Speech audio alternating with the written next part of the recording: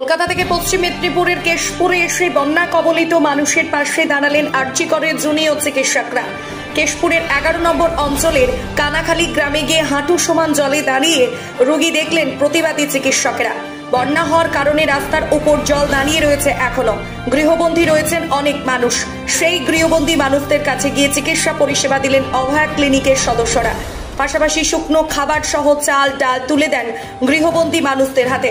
এমনকি প্রতিবাদী জুনিয়র চিকিৎসকরা বন্যা কবলিত বাড়িগুলিতে গিয়ে বন্যা পরবর্তী বিভিন্ন শারীরিক সমস্যা নিয়ে এলাকাবাসীদের সাথে কথা বলে নানা রকম সাবধানতা অবলম্বনে সুপরামর্শ দেন।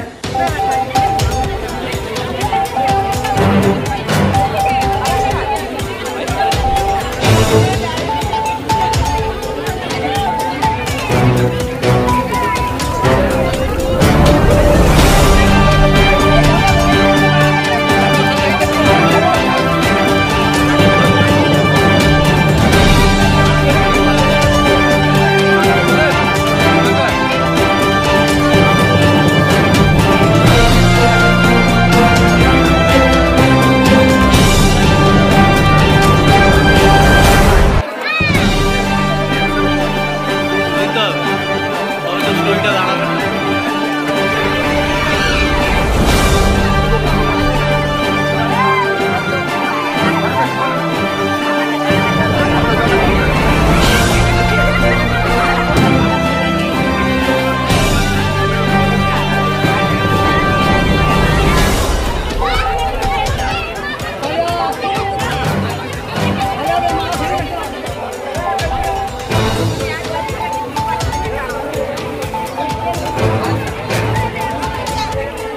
আমরা এখানে আজিকর এবং মেডিকেল মেদিনীপুর মেডিকেল কলেজ থেকে একটা টিম এসছি। এই ফ্লাড এফেক্টেড এরিয়াজে আমরা মেডিকেল হেল্প আর ত্রাণ পৌঁছে দিতে বাড়ি বাড়িতে। আর এখানে বন্যার জন্য যেমন বাড়ি বাড়িতে মানুষজন আটকে পড়েছিল তো আমরা বাড়ি বাড়ি গিয়ে আমরা চেষ্টা করছি যাতে তাদের কেউ অসুস্থ আছে কিনা তাদের কোনো সমস্যা হচ্ছে কিনা আহ, বা মানে তাদের কিছু মানে অভাব আছে কিনা সেই সবগুলো আমরা যাতে বাড়ি বাড়ি গিয়ে পৌঁছে দিতে পারি সেটাই আমরা চেষ্টা করছি আজকে। মেদিনীপুরে যে যে দুর্ভিক্ষ কবলিত বন্যা কবলিত গ্রামগুলো রয়েছে সেই গ্রামগুলো আমরা গতকালও এসেছে একটা টিম মেডিকেল টিম এসেছিলেন আজও এসেছে। যেভাবে তারা দুর্যোগের মধ্যে রয়েছে গত বিয়াল্লিশ দিন ধরে আমরা, আমার দিদির বিচার চায়ের জন্য যত রকম আন্দোলন এবং কর্মসূচি করেছি, বিভিন্ন মানুষের বিভিন্ন প্রান্ত থেকে, শুধু সেই আন্দোলন আরজি করে সীমাবদ্ধ ছিল না আরজিকর থেকে বেরিয়ে বিশ্ব, সারা বিশ্বে এই আন্দোলন পৌঁছে গেছে। যেভাবে মানুষ আমাদের পাশে ছিলেন, আমরা কৃতজ্ঞ। এবং বুঝেছি যে মনুষ্যত্ব আজও আছে, মানুষ আজও মানুষের পাশে দাঁড়ায়। সেই ভালোবাসা, সেই বিশ্বাস, ভরসা নিয়ে তাদের ভালোবাসা যেভাবে পেয়েছি, তারা অনেকভাবে স্বাস্থ্য ভবনে যেভাবে আমরা রাস্তায় পড়েছিলাম ঝড় জল, বৃষ্টি উপেক্ষা করে তারা আমাদের সার্ভাইভ করার জন্য অনেক যাবতীয় জিনিস দিয়ে আমাদের সাহায্য করেছিলেন। সেই সাহায্য, সেই ভালোবাসা আমরা ভাগ করে নিতে আজকে বন্যায় কবলিত যে এলাকাগুলো আছে সেখানে এসেছি। এর আগে কেশপুরে গেছিলাম, আজ এখানে এসেছি। আপনারা দেখতে পাচ্ছেন, গতকালও ওই বাচ্চা বাচ্চা ভাই বোনেদের কাছে যখন জিজ্ঞাসা করছি, এই জল এতটা উঠে উঠে গেছিল। পিছনে দেখতে পাবেন বিভিন্ন জায়গায় বিভিন্ন ক্লিনিক প্রাইমারি স্কুল সেগুলো ভেসে গেছে এবং জল অনেক দূরে উঠে গেছিল, আজ একটু কমেছে।